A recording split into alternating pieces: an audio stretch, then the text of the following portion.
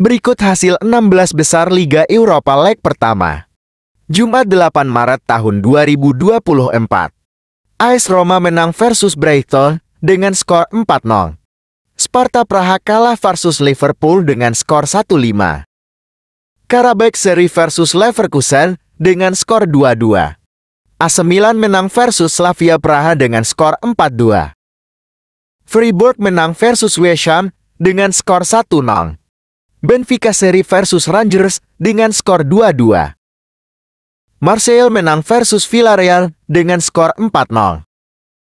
Berikut top skor sementara Liga Eropa.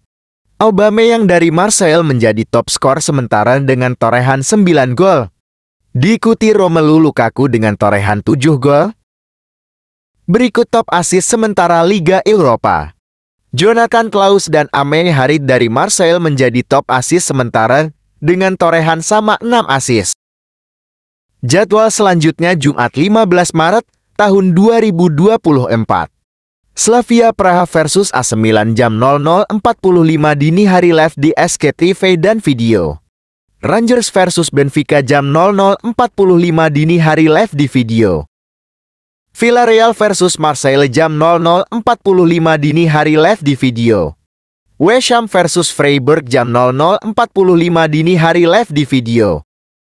Atalanta versus Sporting CP jam 3.00 dini hari live di video.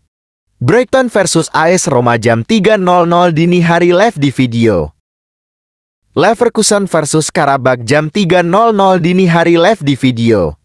Liverpool versus Sparta Praha jam 3.00 dini hari live di SKTV dan video. Demikian info terupdate hasil dan jadwal Liga Eropa.